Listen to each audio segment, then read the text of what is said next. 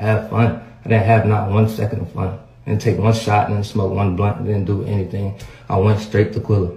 She was not found dead. She was found unresponsive. Yes, unresponsive. She was unresponsive.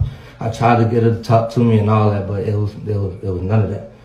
There was none of that going on. Um, a video of uh, Shanquella Robinson's friend talking about what really happened to the friend.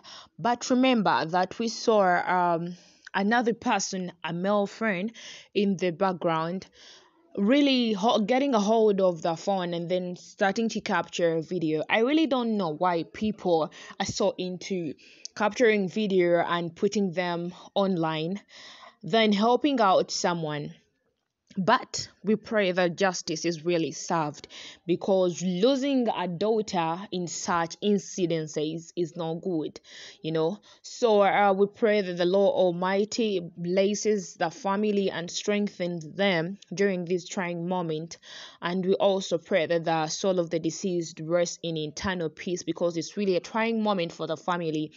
If the group of friends go out to have fun and then they come back and then they tell you that your daughter is normal it's really a big thing and a big gap. So anyway, I would like to say I love you all. You can comment down in my comment section like what do you think about the incidents that happened to this young 25 year old Shanquella Robinson. It's really hurting and really so bad. I love you all. Have a lovely one. Bye bye and ciao ciao. And if you find this video informative, don't hesitate to subscribe to the YouTube channel. Leave down a comment below and give it a thumbs up. Bye bye and ciao ciao.